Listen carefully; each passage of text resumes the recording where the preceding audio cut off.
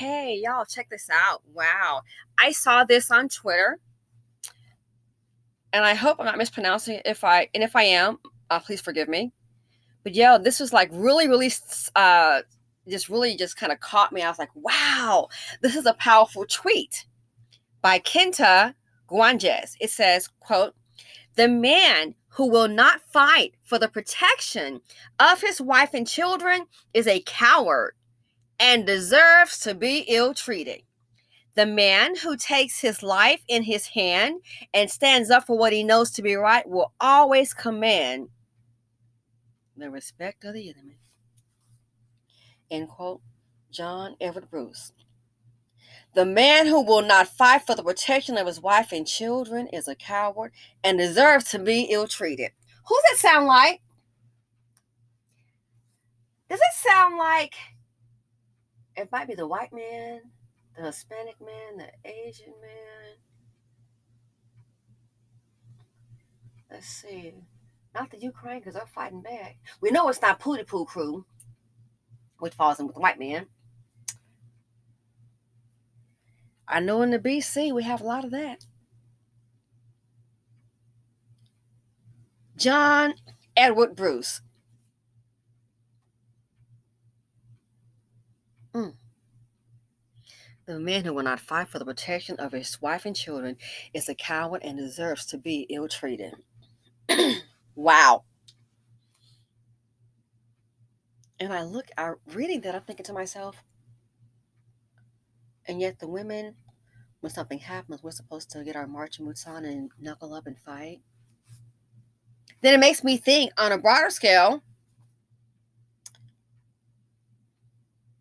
the fact that in the BC they won't fight for the protection of the their wives and children. We're, we're to have to add baby mama.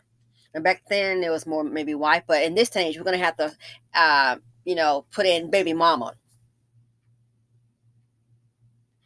Number two, how can they fight for the women and children when that's who's been murdered in the black community? Black women being murdered, what, every 5.5 hours? The man who will not fight for the protection of his wife and children is a coward and deserves to be ill treated. Who is being ill treated? Mainly by maybe some guys and gals in uniforms with badges and then the sad thing is, you look up their background and you might see some DV history, but they want you to march. When something happens, they become a hashtag. Think about it. One more time. The man who will not fight for the protection of his wife and children is a coward and deserves to be ill treated. Ooh. And looking at this photo, uh, this is of ancient time. So I'm not gonna make this a long video. I just want to put this out because I gotta like super go. But then it says, "A man who takes his life in his hand and stands up for what he knows to be right will always command the respect of his enemy." John Edward Bruce. They say the white man is the enemy to black to black community. But you know what that white man can see? The dominant society. Black women are surely taking their life into their hands and they're doing what they know to be right. Like raise their children as a single parent because the father's not there. IJS. They don't go, well, gee, your father abandoned you, and guess what? I will too strong. Keep on going on. With or without, and most time without. The black woman taking her life in her hands. She provided for herself and her children, and sometimes her mama and her man. She's definitely taking her life in her hands, trying to take charge of her destiny. Right, Goldman Sachs? That's why all these investments, Aberdeen, MasterCard, I think Discover too.